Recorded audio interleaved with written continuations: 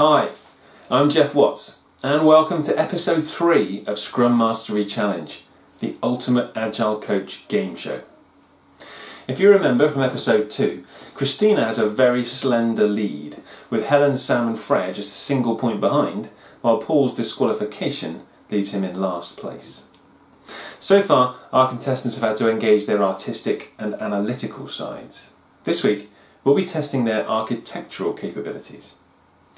Let's see what this episode's challenge has in store for them.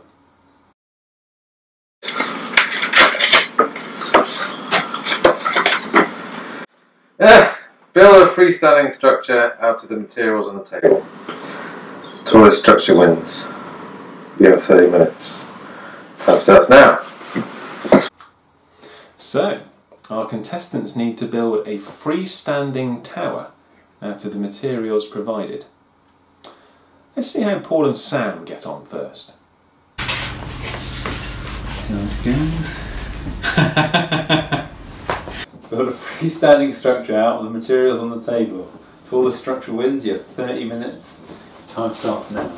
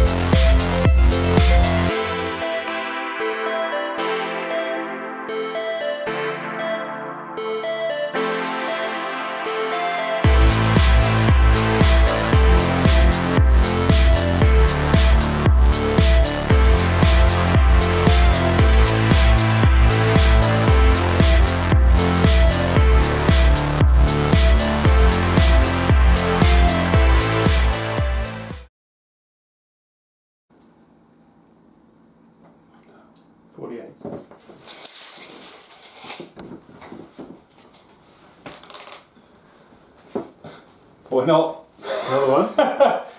Yeah, yeah, just extended the straw. Forty-nine and a half. Oh yeah, it's just I'm gonna stick with the 49 and a half. Do you know what? If someone does better than 49 and a half,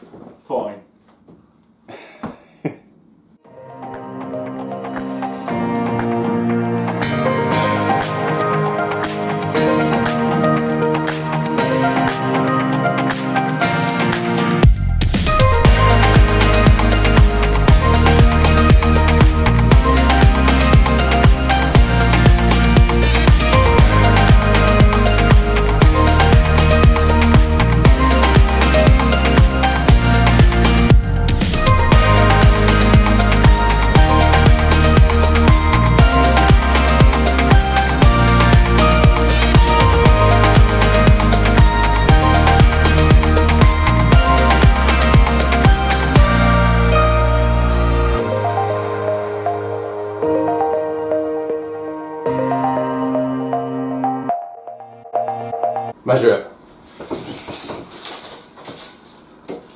50.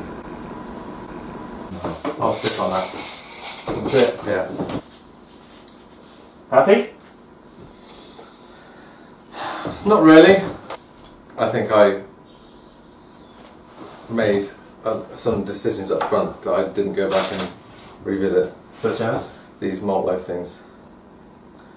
You were fairly attached to your early decisions. Yes. And there's a lot of extra infrastructure here that's not actually doing a lot.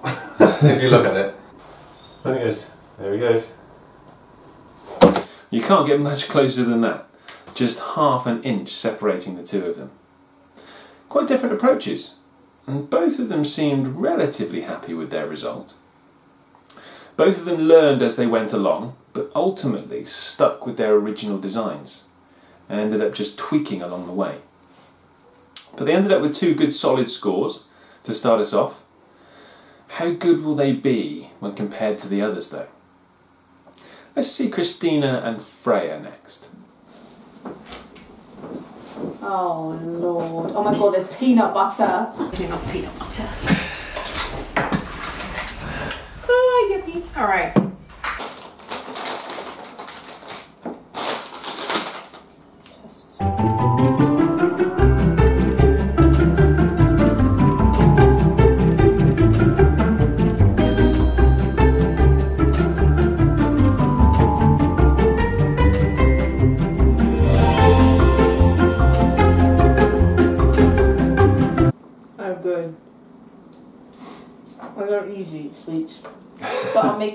For today. I'm thinking how I can. I mean, I've got my structure, so I'm cool with that. I'm thinking how I can make it taller. Mm-hmm. I'll put something on top. What should I put on top? What do I do with these?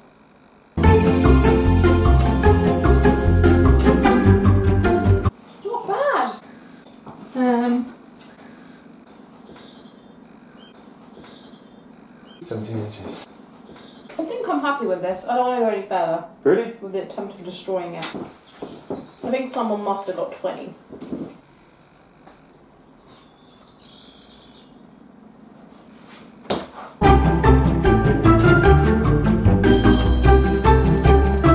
A bit more tricky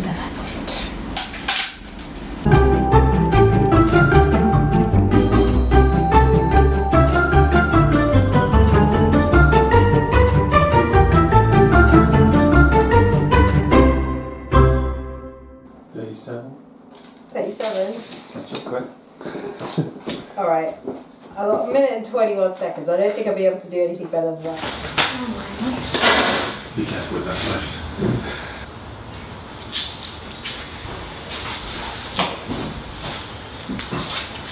Now I'm just gonna put this in my mouth. I'll come back to that later.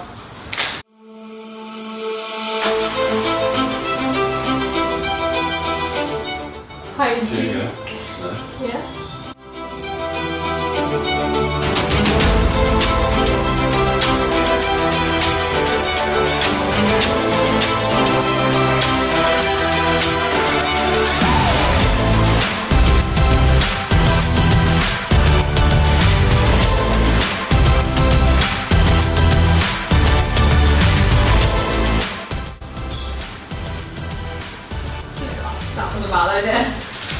Gonna try and make another one of these and join at the top.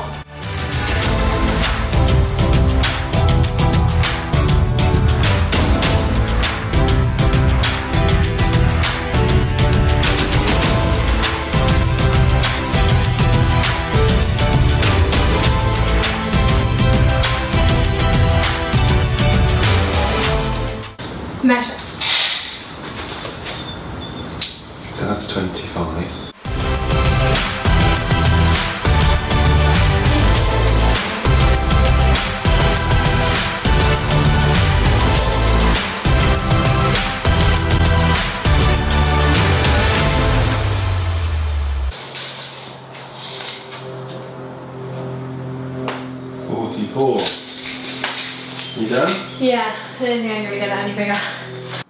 Interesting. Both Freya and Christina thought they'd reached their limit about what they could do quite early on, and they almost wanted to stop. Mean, thankfully, they talked themselves into carrying on, and both of them ended up with actually almost double what they thought was previously possible. I think there's a strong aspect of belief going on here belief in what they're capable of, belief in what's possible, and what's needed to be successful. And a lot of agile teams have assumptions about what, what they're capable of and what's necessary for them and, and what's possible. But all the teams that I've worked with have found ways to improve that they actually wouldn't have thought possible just months or even weeks before that. What both Christina and Freya had at that time were solid bases that they could build on top of. And because their scores could be banked, as it were, and not lost if things went wrong, they were both a little bit more comfortable carrying on. I think I compare this to agile teams who are able to ship at the end of a sprint and then iterate on that later. So if things go wrong, they can always roll back to the previous increment. And that gives them a little bit more room for experimentation, innovation, risk taking. Like the boys before them, Both Freya and Christina basically picked a design and stuck with it as they went through, just tweaking it as they went. That's not particularly innovative, but it is a solid approach because it gives them a good chance of delivering something valuable at the time box. All four of them have, so far. Let's see how Helen gets on. Malt loaf. Gonna make sure the wine gums are.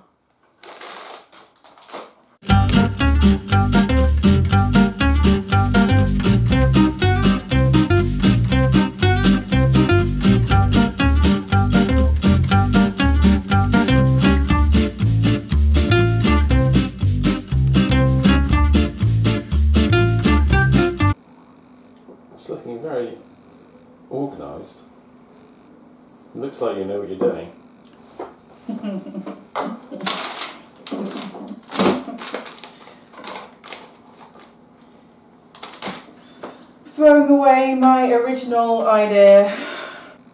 It looks so good. It did.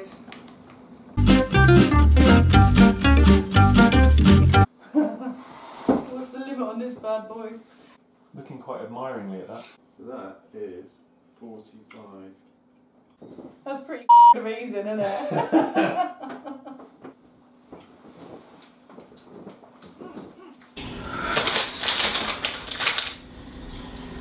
You can keep that.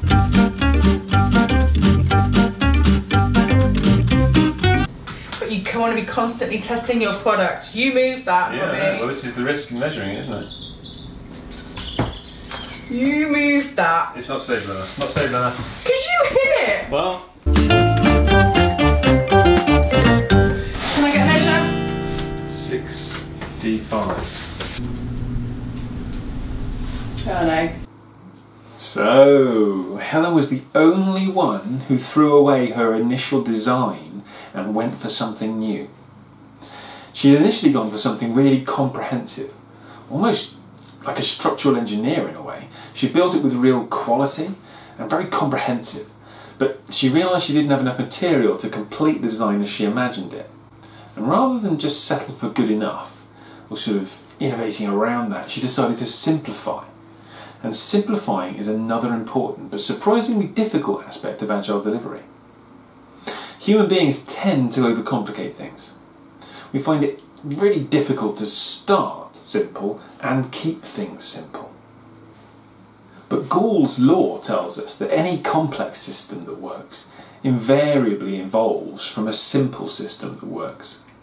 It's much harder to strip out complexity that you don't end up needing than it is to add it in when it's needed. Mean, Paul mentioned this quite explicitly in his sort of retrospective at the end because he pointed out quite a lot of unused infrastructure. Now, in the real world, that stuff was expensive not just to build but also to maintain, and just it being there could end up causing problems later on down the line.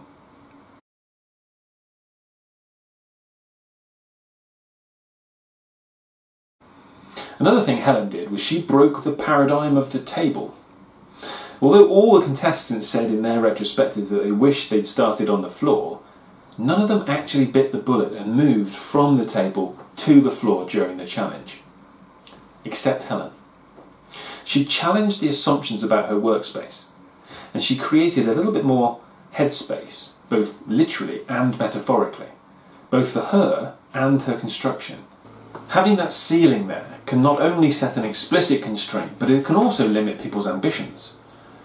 I think a lot of agile teams make assumptions about their workspace without realizing it.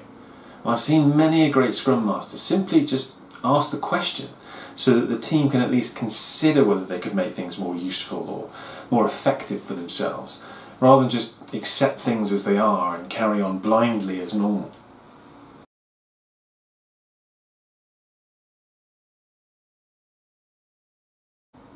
Another thing our contestants had to overcome, perhaps not quite explicitly though, was a fear of failure. And in this case, failure would have been their structure falling down. And when this happens, it's all too easy to judge ourselves and feel ourselves being judged by others for our failure and as a failure.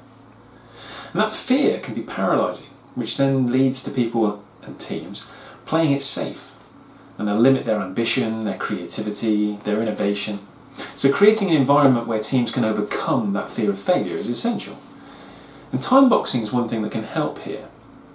If you've got really short time boxes, then there's a limit to how much time can be wasted if things come crashing down.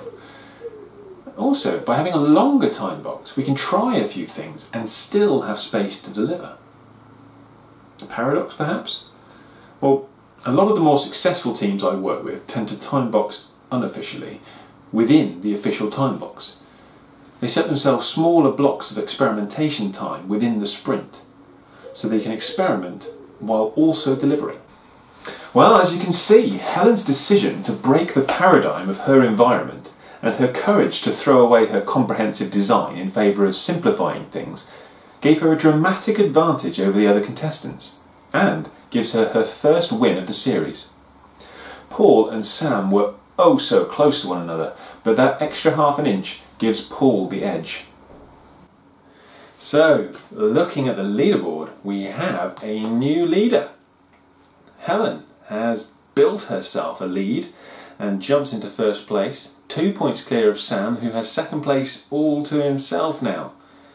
Paul has put the disappointment of his past estimation disqualification behind him and joins Christina and Freya in equal third spot. Still very, very close, and again, still a long way before we end up crowning our Scrum Mastery Challenge champion. But it's interesting how things are shaping up. Well, that's the end of our time box for episode 3 of Scrum Mastery Challenge, and we're almost done. Another good challenge, and I hope you enjoyed it as much as our contestants and I did. If you fancy running this challenge with your team, or for yourself, let us know how you get on and what learning points you extract from it. Until next time though, good luck with your own Scrum Mastery challenges, and to get us to Done Done, here are the credits.